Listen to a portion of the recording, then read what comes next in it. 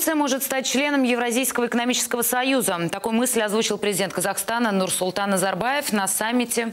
Глава республики подчеркнул, что союз – это свободное сообщество. Тем более у Турции следует перенять опыт в сфере туризма, добавил Назарбаев.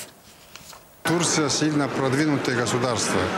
Договоренность о том, чтобы перенимать опыт Турции в развитии туризма, э, готовить кадры для сервиса гостиничного и вообще для обслуживания, обслуживания кадров здесь, в совместных университетах, я думаю, имеет это большое значение.